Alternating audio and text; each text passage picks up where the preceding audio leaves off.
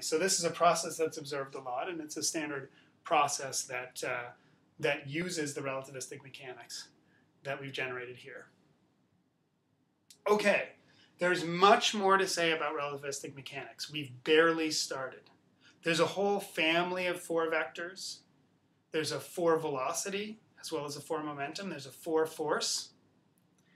Um, there's lots of things you can think about in, in uh, relativistic, lots of vectors you can think about in relativistic mechanics.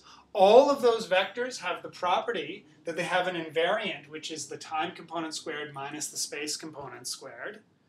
Um, that invariant is invariant to the Lorentz transformation. When you change frames, you change the components, but you leave that invariant uh, fixed. And that invariant for the four momentum gives you the mass, and that's this very powerful thing. Now, I, I should, guess I should say do one last calculation, and then we'll call it a day. So here's my final calculation, which is a very relevant uh, calculation to other things we've done.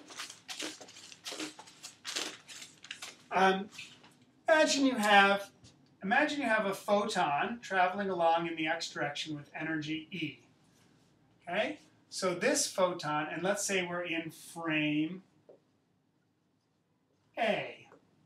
We have a photon traveling along at with energy E in frame A. This photon has four momentum, which is, as we've just said a million times, E over C, E over C, 0, 0.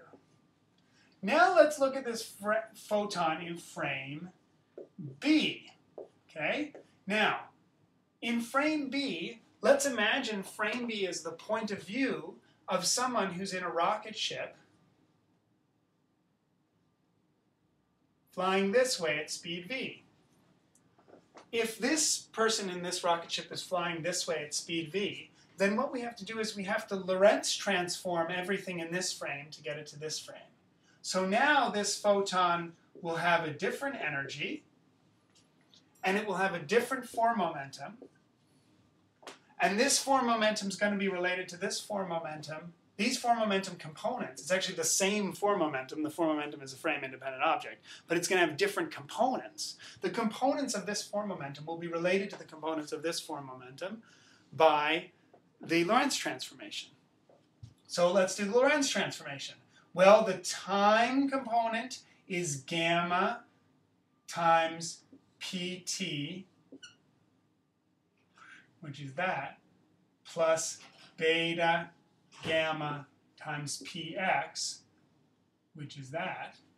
And then the x component is going to be gamma px, which again is that, plus beta gamma pt, which is that comma 0, comma 0, because we're still dealing with just the x versus t case. So now, let's work out what the, well, let's just think about the energy. So what's the, we're going to think about the new energy. So this photon had energy E in frame A. It has energy E prime in frame B. It's going to be a different energy in general.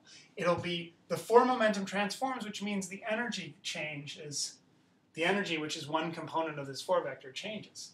So this energy of the photon in this frame is gamma pt plus beta gamma px all times the speed of light, because this component is e over c. But this pt here, this pt here, is the original e over c, and this px is also the original e over c, and there's a c there, so it's just going to be gamma 1 plus beta E.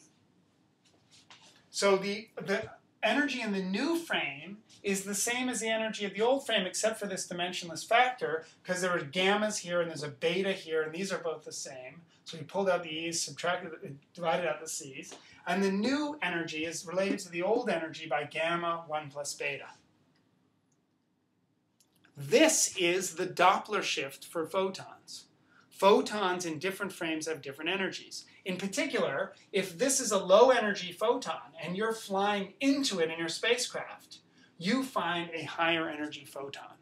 Remember, we, as we discussed at the beginning of this lecture and as we've discussed all through this two-week period, the speed of light is the same for all observers. So when this spacecraft flies through, this spacecraft does not see this photon moving at a different speed. It's still, the people in the spacecraft still see this photon moving at the speed of light.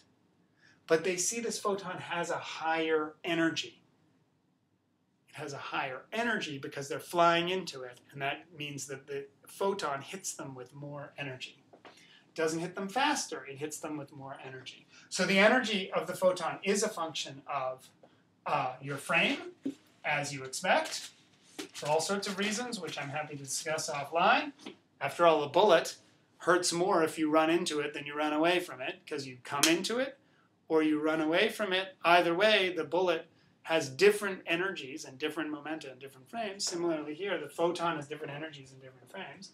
Um, but this can be simplified a little bit further. Remember, gamma is, the, is 1 over 1 over the square root of 1 minus beta squared, which if you really want to go to town, you can write as 1 over the square root of 1 minus beta, 1 plus beta, and so if you multiply gamma times 1 plus beta, you can see you put a 1 plus beta up here, that's going to interact with that.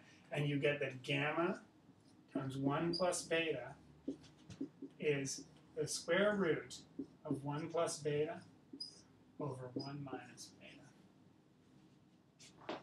And this is the relativistic expression for the Doppler shift that the energy in the new frame is related to the energy in the old frame by the square root of 1 plus v over c over 1 minus v over c. This is the Doppler, uh, the relativistic Doppler formula.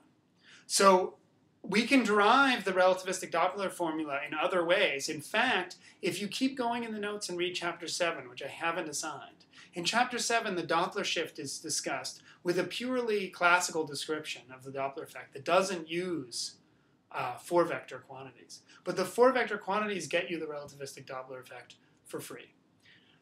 Um, and of course, the fact that the what you'll see if you continue with chapter 7, which is at your leisure, but if you do continue with chapter 7, what you'll see is that the is that the the uh, the calculation of the Doppler shift you do by considering wave fronts in a photon is the same as the calculation of the Doppler effect you get considering the energies. And that tells you that the wavelength of the photon and the energy of the photon are intimately related. And that relationship was solidified by quantum mechanics. Quantum mechanics is fundamentally about a relationship between wavelength and energy, or frequency and energy, I should say. It's wavelength and momentum, frequency and energy. So frequency, energy, wavelength, and momentum are all interrelated by quantum mechanics. But interestingly, they're related by a way in, uh, they're related by quantum mechanics in a way that's perfectly consistent with what we calculate from uh, relativistic mechanics.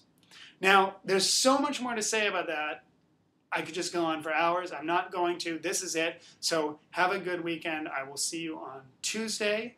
And uh, as usual, uh, we'll be back to the classroom uh, on Tuesday. Okay, bye.